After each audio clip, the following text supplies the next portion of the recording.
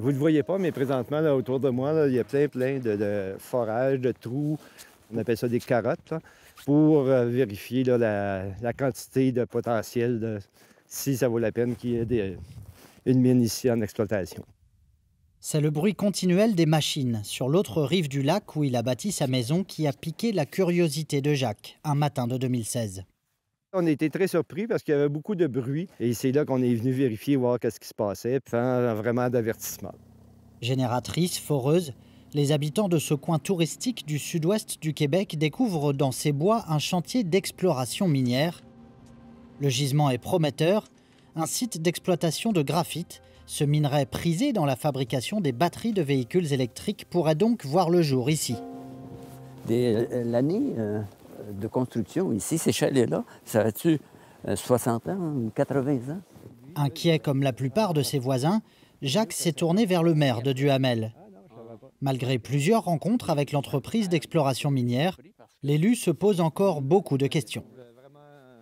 Je suis malheureusement dans la même ignorance que mes citoyens. Nous avons envoyé une lettre à, la ministre euh, indiquant qu'on souhaitait être impliqué, mais on n'a même pas reçu un accusé de réception. Ma compréhension du processus, c'est que le gouvernement souhaite euh, demander à l'industrie minière de faire une analyse de l'acceptabilité sociale et, c'est à eux de décider quand et de quelle façon ils vont le faire. Je me dirais abandonné par notre gouvernement pour avantager l'industrie minière. Au Canada, acheter un claim, un titre d'exploration minière, est un jeu d'enfant. Une connexion Internet, une carte de crédit et une cinquantaine d'euros suffisent pour s'offrir le droit de creuser sur les terrains publics. Face aux défis climatiques, il est plus que jamais essentiel pour le Québec de poursuivre sa transition énergétique. Et la décarbonisation passe entre autres par les minéraux critiques et stratégiques. Graphite, lithium, cobalt, cuivre ou encore nickel.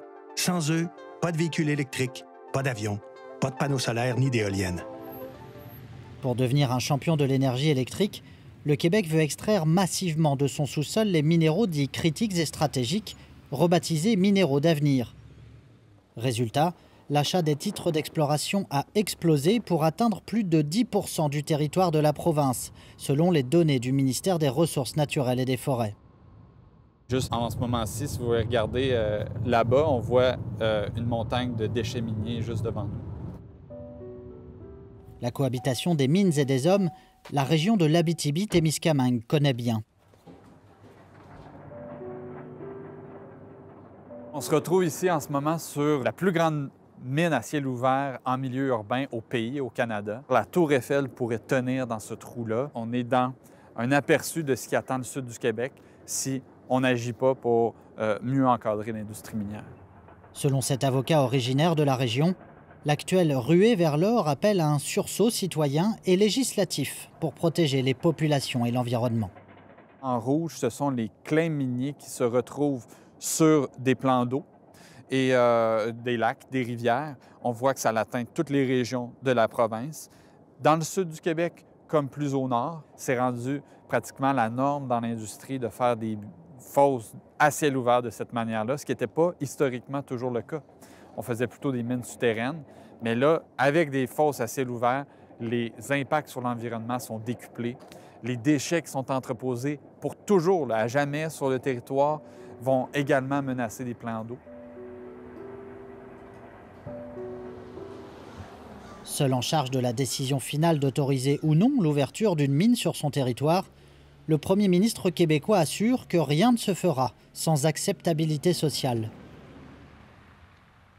La loi actuelle reste en tout cas largement favorable à l'industrie minière, explique cette experte en développement durable des mines, un héritage du free mining créé au temps de l'Empire britannique un juriste un jour en Angleterre hein, qui a décidé qu'il y avait une divisibilité entre la surface et le sous-sol.